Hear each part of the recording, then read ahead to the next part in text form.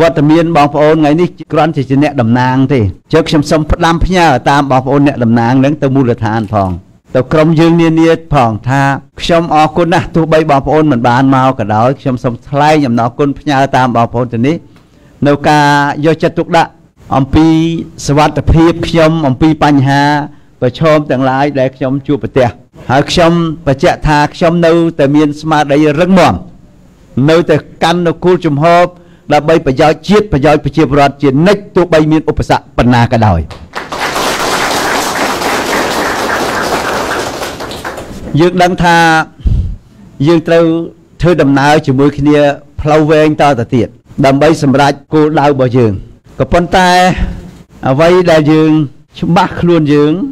គឺថាយើងធ្វើដើម្បីជាតិដើម្បីប្រជាពលរដ្ឋ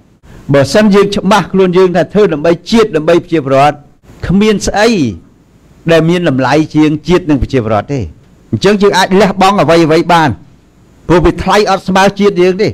យើងត្រូវគិតថាស្អីក៏អត់ថិតថេរដែរស្អីក៏អត់អមតៈដែរមែនទេបងប្អូនស្អីដែលយើងត្រូវអមតៈគឺទឹកដីយើងជាតិសាសន៍យើងយើងត្រូវឲ្យនៅអមតៈប្រទេសកម្ពុជាត្រូវអមតៈប្រជាប្រដ្ឋខ្មែរត្រូវអមតៈប៉ុន្តែអ្វីៗវាអាចនឹងផ្លាស់ប្ដូរបាត់បង់បាននេះជាការគិតរបស់យើងទាំងអស់គ្នា ចឹងយើងអាចបដូរបានណាយើងអាចគិតបានណាបើចំណុចហ្នឹងកាលណាយើងមានកំណត់អញ្ចឹងខ្ញុំជឿថាយើងរឹងមាំហើយយើងធ្វើទៅមានប្រយោជន៍ហើយយើងអត់ថយទេហើយវាមិនសាបសូន្យទៀតហើយក្នុងប្រវត្តិសាស្ត្ររបស់ជាតិខ្មែរយើង សម័យកាលណាក៏ដោយ តែងតែមានអ្នកស្នេហាជាតិក្រោកឈរឡើងមិនដែលអត់ទេទោះមានការឈ្លានពានពីបរទេសទោះមានអ្នកដឹកនាំផ្ដាច់ការទោះមានអ្នកដឹកនាំបំផ្លិចបំផ្លាញកាប់សម្លាប់ប្រជាពលរដ្ឋខ្មែរក៏ដោយ ក៏តែងតែមានអ្នកស្នេហាជាតិក្រោកឡើងអញ្ចឹង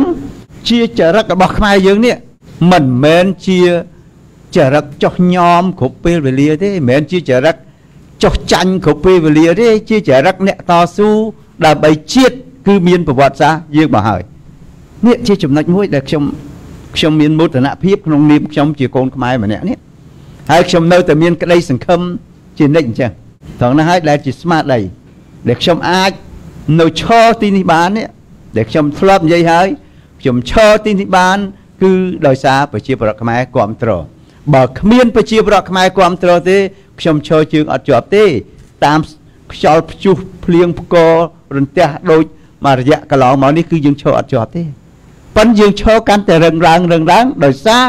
កម្លាំងនៃការគ្រប់គ្រងរបស់ប្រជាប្រដ្ឋកាន់តែមមទៅមមទៅកាន់តែច្រើនទៅច្រើនទៅនេះអានេះជាចំណុចសំខាន់ អ្វីទាំងអស់នេះគឺជាការសម្រេចចិត្តមួយដែលយើងកំពុងតែដើរតាមផ្លូវត្រូវហើយហើយឧបសគ្គនៅច្រើនទៀតបងប្អូននៅច្រើនណាស់តម្រាំទៅដល់ទីដៅប៉ុន្តែបើយើងនៅតែរួបរวมគ្នាយើងនៅតែតម្កល់ផលប្រយោជន៍ជាតិជាធំខ្ញុំគិតថាយើងនឹងជំនះនៅឧបសគ្គទាំងអស់នោះបានជំនះបានបងប្អូនការរួបរวมសាមគ្គីគ្នាហើយយើងមិនអោបដៃនៅមើលគ្នាយើងឬក៏ អ្នកស្រឡាញ់ជាតិដែលត្រូវគេបំផ្លិចបំផ្លាញគេធ្វើទុកបុកម្នេញគឺប្រជាប្រដ្ឋយើងអត់អោបដៃទេបងប្អូនឃើញទេបានថ្ងៃកន្លងមកនេះមិនដែលអោបដៃទេហើយសន្ទុះក្តៅចុងក្រោយនេះឃើញទេបងប្អូនឃើញប្រហែលថ្ងៃនេះនៅតែមានមនុស្សនាំនេះអង្គុយគិតធ្វើអីធ្វើម៉េចធ្វើម៉េចដើម្បីជួយជាតិដើម្បីរកយុត្តិធម៌ធ្វើម៉េចដើម្បីបានយុត្តិធម៌ធ្វើម៉េចបានប្រជាធិបតេយ្យមានអ្នកគិតជាជានិច្ចត្រង់ណាជាក្តីសង្ឃឹម